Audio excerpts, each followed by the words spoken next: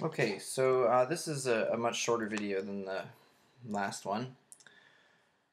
Um, based on example um, 9.3.1, uh, which focuses on heating degree days. I just wanted to chat a bit about heating degree days, do one simple calculation, and, and sort of talk about some of the meaning behind it.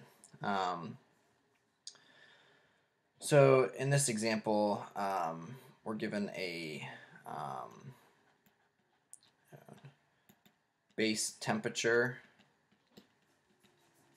of uh, 18 degrees Celsius, and we're in Madison, Wisconsin. the example um, goes into much more detail on calculating um, heating degree days for different months. Um, but at the real basic level, um, we're going to calculate just December's here. Um, um, heating degree days are calculated simply by the number of days in the month um, and the base temperature and the month's um, ambient average temperature. So T ambient bar is T average for the month. Um, so for December, um, there's 31 days in the month.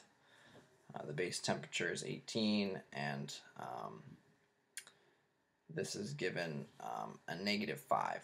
It's pretty cold in Wisconsin. Um, and so what we end up with is 31 times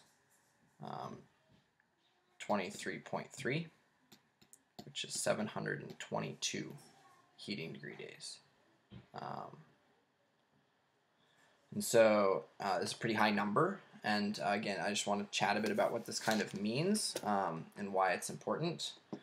And um,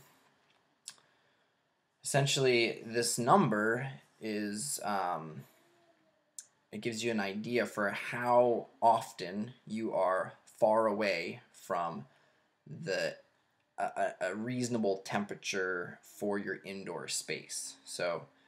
Um, if it's really cold, then you'll get a high number, and that means you need to be heating a lot.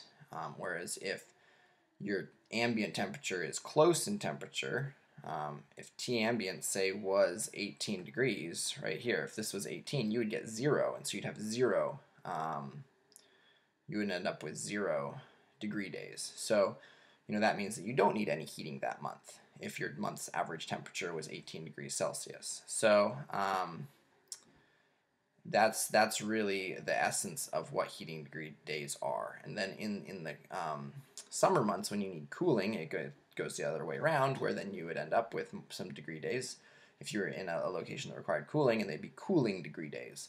So if your T ambient was very hot, then you would end up with a different um, number there as well. So again, that, that these numbers are used essentially to calculate overall heating and cooling loads.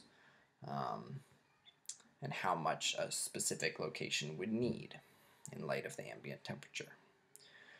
Um, all right, thanks for listening.